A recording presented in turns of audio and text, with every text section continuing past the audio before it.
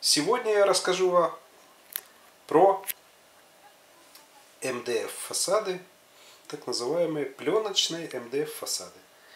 Еще раз расскажу, может кто-то не видел моего старого обзорчика.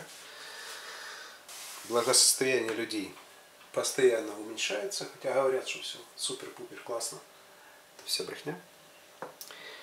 То есть, в принципе, люди сейчас переходят на заказы именно мебели с вот такими фасадами. Ну, в принципе, вы уже все видели.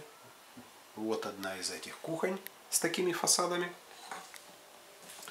Это пленочный МДФ фасад. Качественная пленка, она имеет очень неплохой вид.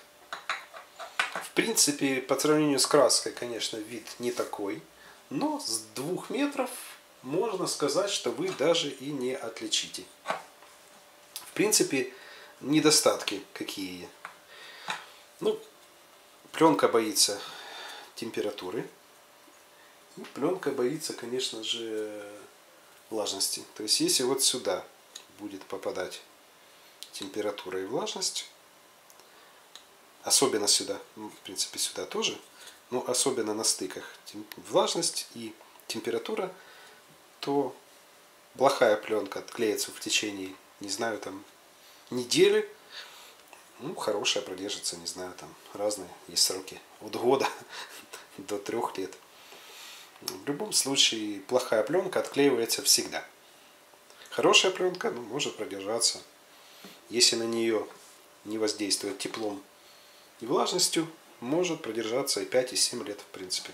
Ну, фасады что? Могут быть тоже любые толщиной. Это 16, может быть 19, там 22, в принципе, в пленке может быть и больше. Для фасадов больше там 22 не применяется. В основном 19 16 Что еще?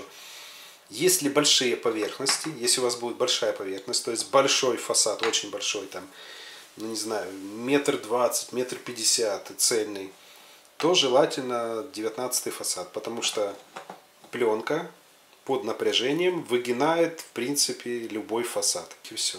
То есть краска не деформирует под напряжением МДФ. Поэтому там такой эффект практически отсутствует. Так, ну что, все, в принципе, пока все, что я хотел сказать.